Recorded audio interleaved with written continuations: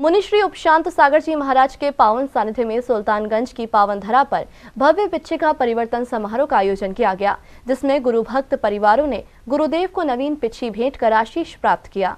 किसी भी दिगंबर संत के जीवन में पिछी का विशेष महत्व होता है। यही एक संत के संयम के मार्ग में विशेष उपकरण मानी जाती है। इसे देने वाला व्यक्ति कोई सामान्य नहीं होता। वे अवश्य ही दिगंबरत्व को मानने एवं उस पथ मार्ग की अनुमोदना करने वाला होता है। पिछी भेंट करने का ऐसा ही पुण्य अवसर चौदह नवंबर को प्राप्त हुआ, जब मुनि श्री उपशांत सागर जी महाराज सत्संग का भव्य पिछका परिवर्तन समारोह सुल्तानगंज की धरा आरोप मनाया गया। गुरुदेव के भक्त अनोखे ढंग से पिछे लेकर आए और पूरा प्रांगण जयकारों से गूंज उठा।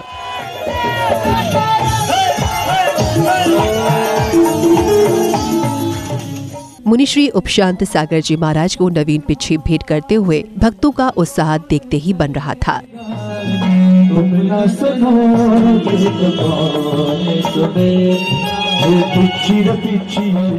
इसके बाद मुनिश्री ने संघस्थ छुल्लक श्री उपकार सागर जी महाराज को पिछी प्रदान की, जिसे पाकर छुल्लक श्री ने मुनिवर से आशीष ग्रहण किया।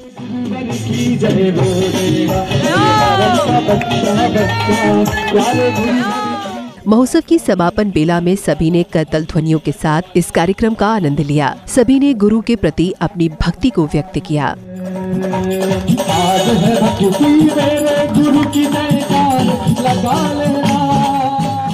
जैन फोकस के लिए सुल्तानगंज से ब्यूरो रिपोर्ट।